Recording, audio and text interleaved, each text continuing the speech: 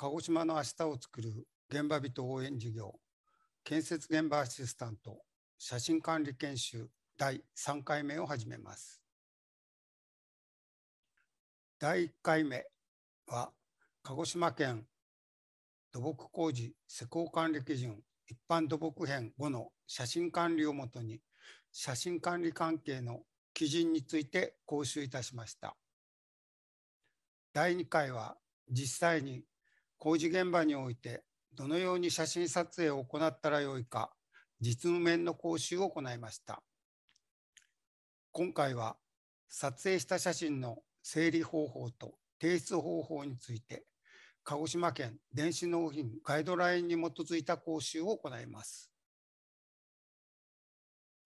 また事前にテキストを配布していますがパワーポイントの資料で講習を行いますのでこの講習で話したことを全て理解することは大変難しいことだと思います。それではどうするか。写真管理基準の講習、写真管理の整理方法の講習を大まかに覚えておけば、実際に困った時、テキストで確認すればいいのです。それでもダメな時は、まず先輩に聞く。事前にテキストで問題点を確認しておけば、質問の要点が自然と整理されているはずです。第3回目の講習内容です。撮影に必要な器具と技術、デジタルカメラ、タブレット端末を含む使用の場合、ファイル形式の内容、撮影に必要な技術、デジタルカメラのセットアップ、写真の修正など、撮影の基本、デジタル写真管理基準として、フォルダーの構成、写真管理項目、ファイル形式、ファイル命名規則、その他留意事項、写真管理ファイルのデータ表現形式、電子黒板の利用法を行います。工事写真の撮影にあたってはデジタルカメラスマートフォンタブレット端末黒板測定小物も拡張することで目的に合った工事写真を撮影することができます。電子納品で扱う写真のファイル形式と内容についてファイル形式と内容電子納品で扱う写真のファイル形式は JPEG、観客圧縮方式とする。拡張子は JPG とするが、納品レベル1ではチェック項目としない。この納品レベルに関しては後で説明いたします。エグジブ情報。デジタルカメラが撮影時に自動的に添付する情報です。内容は規定しないが、チェックプログラムで写真編集の有無などをエグジブ情報を利用してあり有無をチェックするので留意することが大変です。これがエグジブの情報例です。このように撮影した写真の情報が自動的に記録されています。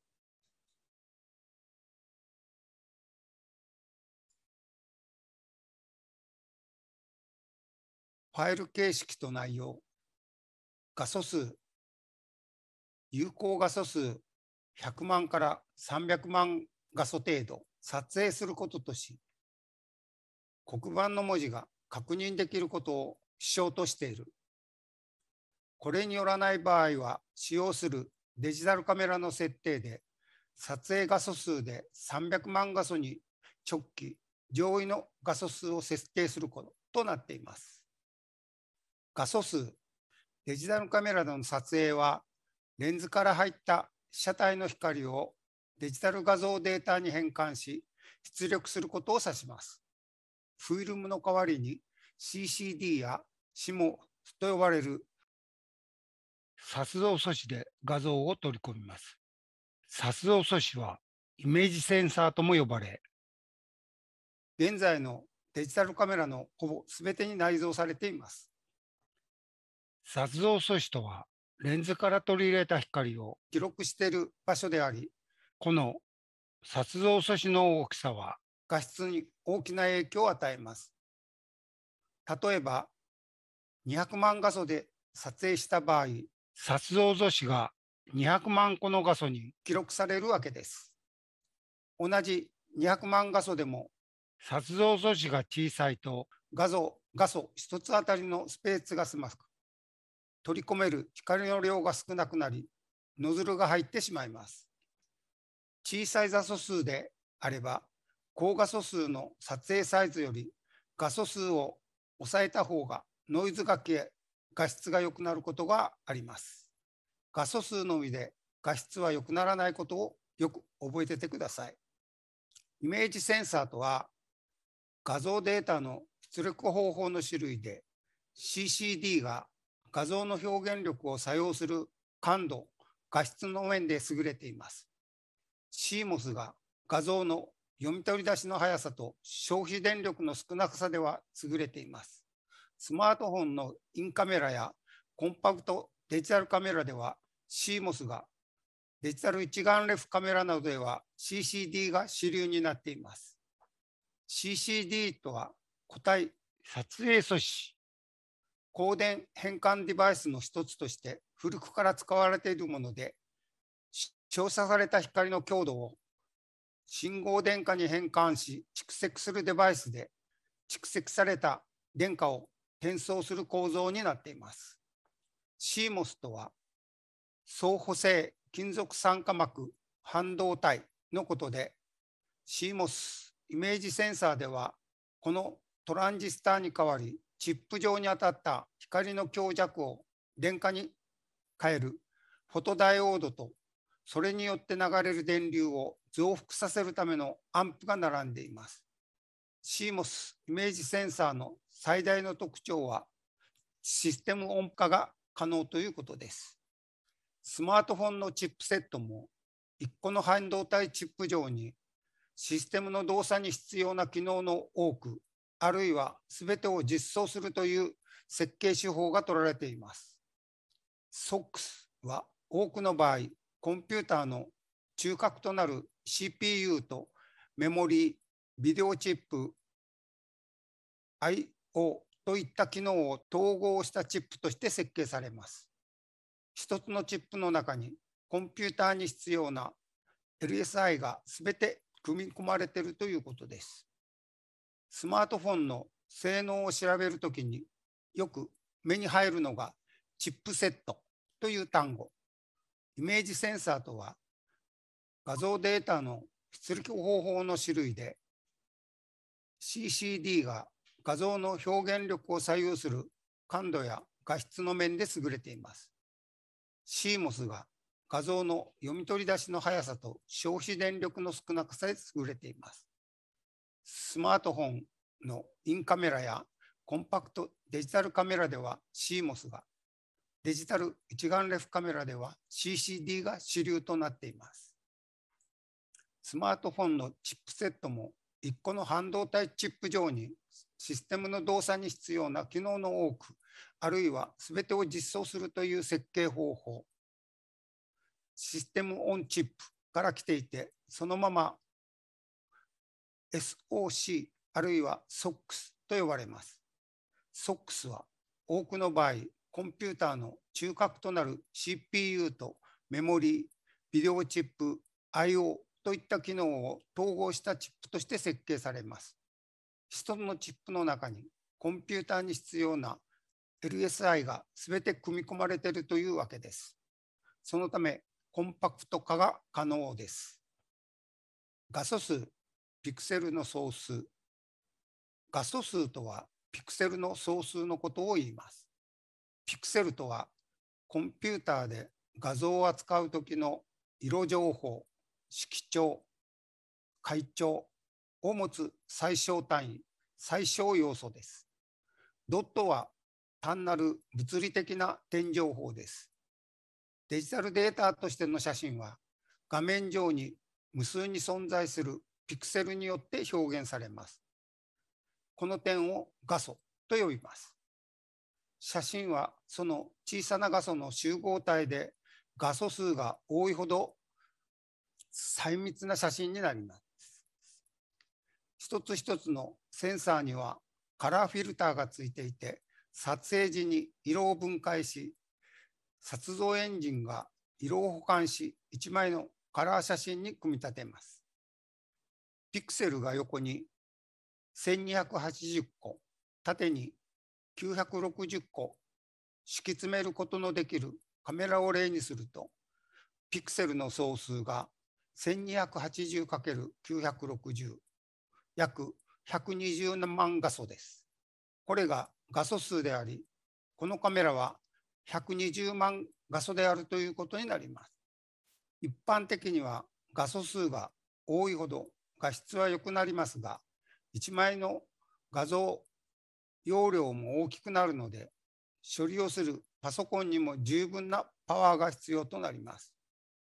コンパクトデジタルカメラには約2000万画素、スマートフォンの画素数が4800万画素になるなど、年々高画素数化が進んでいます。画素数とはデジタル画面を構成する最小単位で、単位はピクセル。1メガピクセルは100万画素となります。容量のメガバイトとは違うので注意が必要です。解像度とはビットマップ画像における画素の密度を表す数値です。すなわち画素を表現する格子の細かさを解像度と呼びます。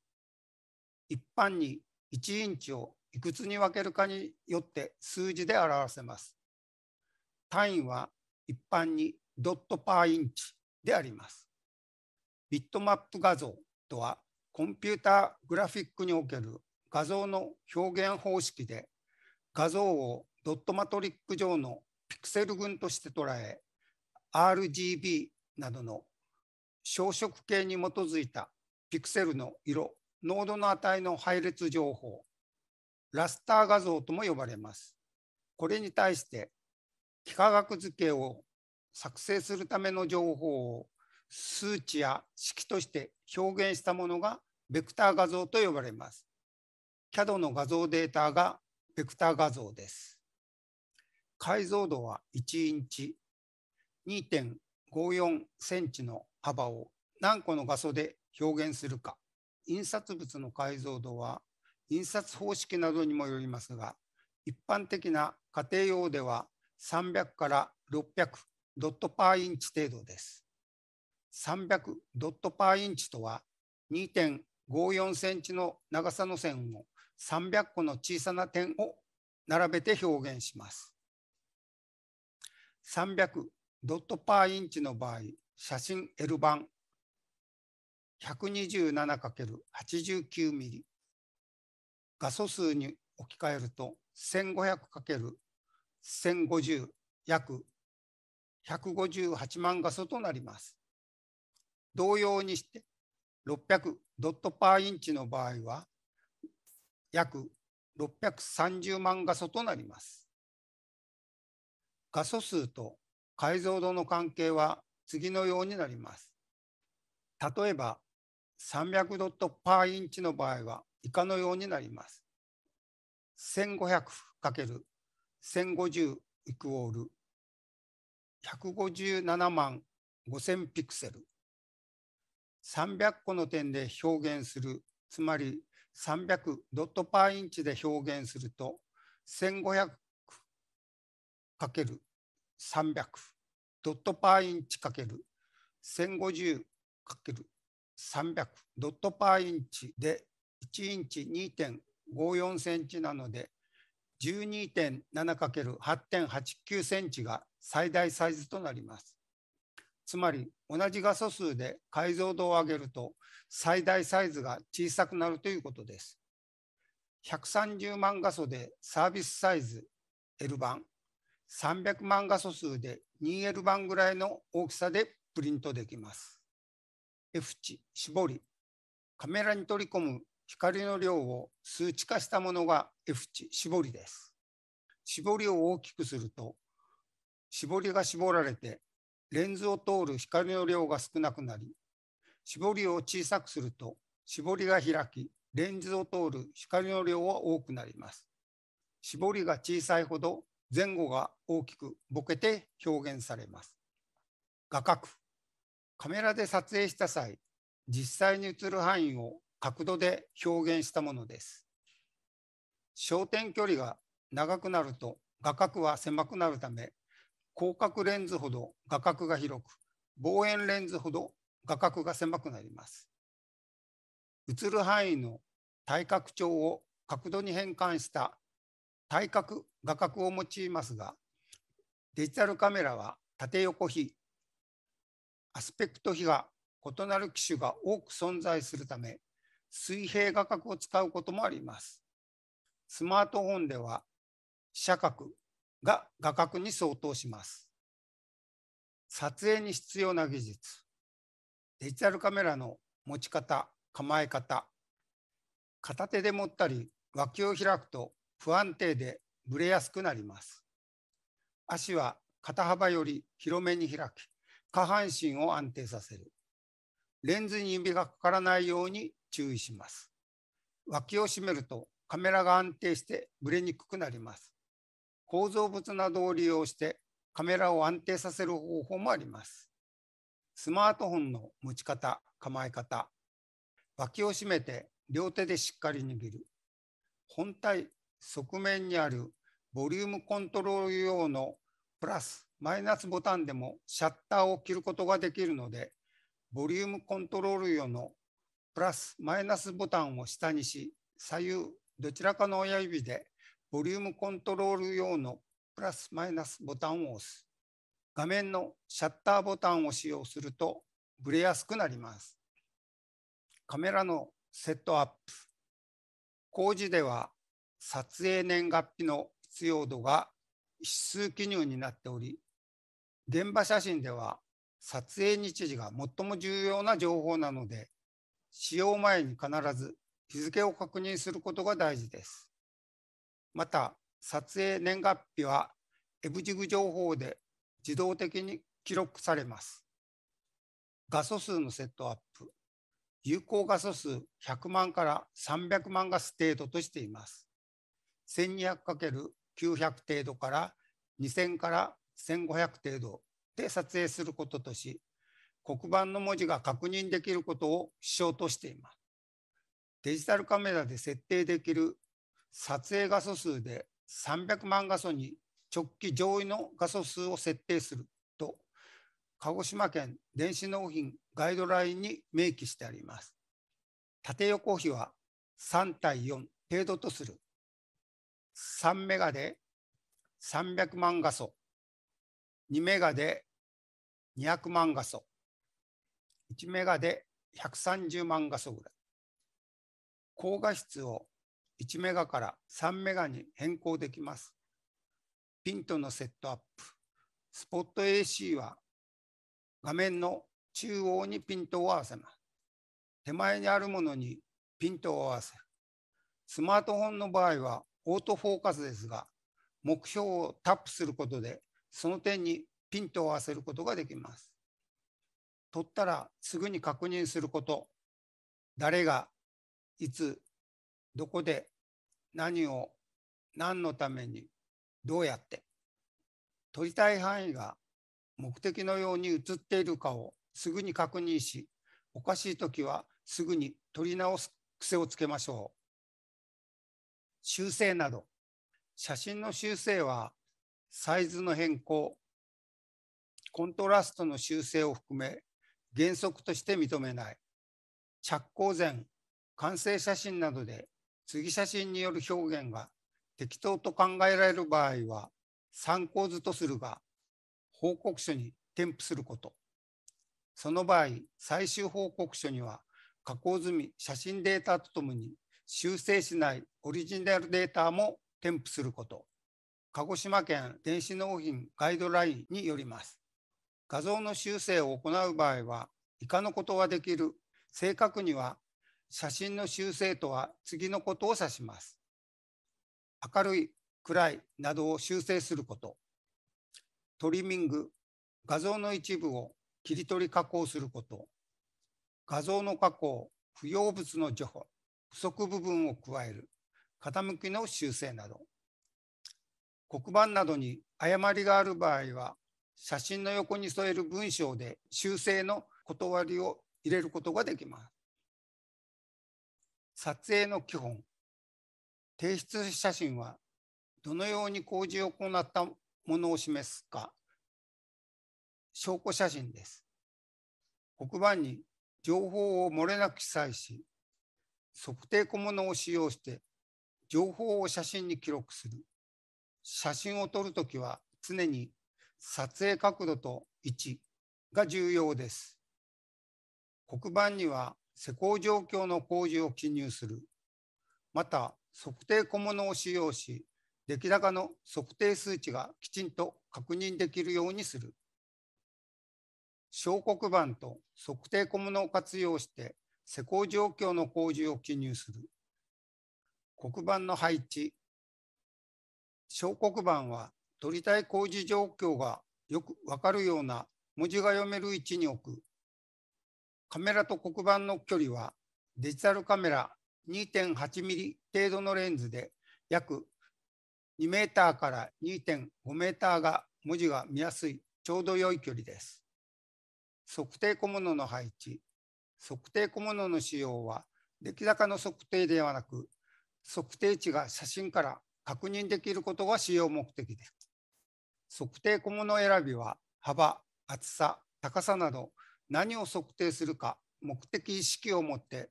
正確で分かりやすい測定小物を選択します。測定小物同士が邪魔して測定値が確認できなくならないように気をつけます。埋め戻しなど見え見えなくなる場合、寸法を確認できるように設置します。測定小物の種類と用途、高さ確認の場合、スタッフ、1メーターアルミロッド、リボンテープ、リボン、合成紙などを使います。厚さの確認の場合、1メートルのアルミロッド、幅の確認の場合、リボンテープ、1メートルのアルミロッド、スペースロッド、位置の確認の場合、2メートルポール、ピンポール、測定補助用として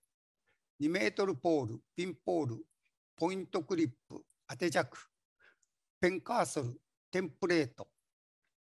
温度の確認として温度計、200程度まで測れる温度計。これが測定小物の種類です。特盛出来高測定。長針からの仕上がり高さ測定に縦ロッドを使用し、上下の幅測定に両端の距離を測るスペースロッド、固定用にクロス金具を使用します。基礎コンクリート、出来高測定、2箇所の高さと幅の測定です。当然、写真撮影する場合は、黒板に測定値などを入れた設置が必要です。擁壁高だ擁壁の出来高測定です。各増し出し圧にマーキングを使用して確認しやすくロッド、貼り付けリボンなどを使用します。のり面の出来高測定、高さと幅。のり面の勾配測定には縦ロッドを使用して、施工幅測定にはスペースロッドとクロス金具を使用します。二次製品出来高測定、高さ測定に縦ロッドを使用し、幅測定にスペースロッドを使用します。二次製品の出来高測定、高さ測定に縦ロッドを使用し、幅が1メーター以上の場合、